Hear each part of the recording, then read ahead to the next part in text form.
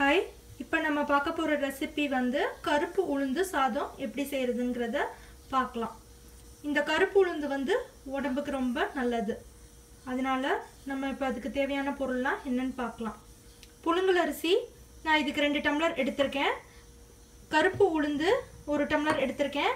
ஒரு கால் டீஸ்பூன் வெந்தயம் ஒரு டீஸ்பூன் ஜீரகம் பூண்டுப்பல் ஒரு ஆறுலேருந்து ஏழு. உப்பு உங்களுக்கு தேவையான அளவு. இப்போ இதுக்கு தண்ணி அளவு பார்த்தீங்கன்னா எப்படி வைக்கணும்னா இந்த ரெண்டு டம்ளர் அரிசிக்கு நம்ம நாலு டம்ளர் தண்ணி சேர்த்துக்கலாம். அதே மாதிரி ஒரு டம்ளர் பருப்புக்கு ஒரு டம்ளர் தண்ணி. ஆனால் குலைவாக கொஞ்சம் இன்னும் நல்லா குலைவாக வேணும் அப்படின்னு நினைக்கிறவங்க ஒரு டம்ளர் அரிசிக்கு ரெண்டே கால் இல்லைன்னா ரெண்டு டம்ளர் தண்ணி சேர்த்துக்கோங்க.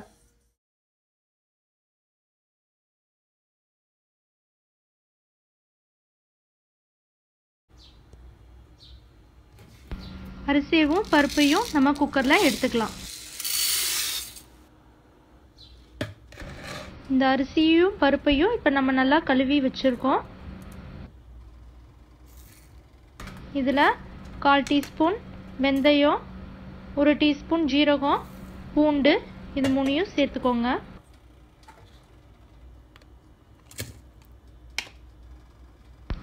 இப்போ இந்த டம்ளர் அளவுக்கு அஞ்சு டம்ளர் தண்ணி நான் ஊற்றிருக்கேன்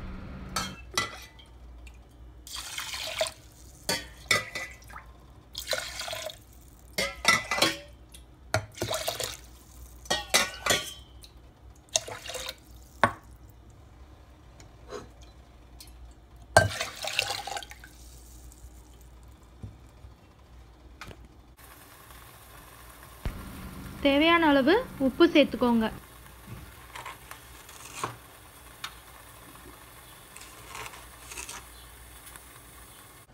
இப்போ இதை நம்ம ஒரு நாலு விசில் வர வரைக்கும் வேக வச்சுக்கலாம்.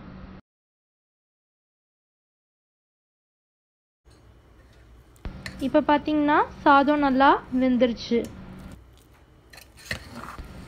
இந்த சாதத்துக்கு எள்ளு துவையல் இல்லைன்னா அவியல் இந்த மாதிரி ஏதாவது சைட் டிஷ் வச்சு நம்ம சாப்பிட்டுக்கலாம்.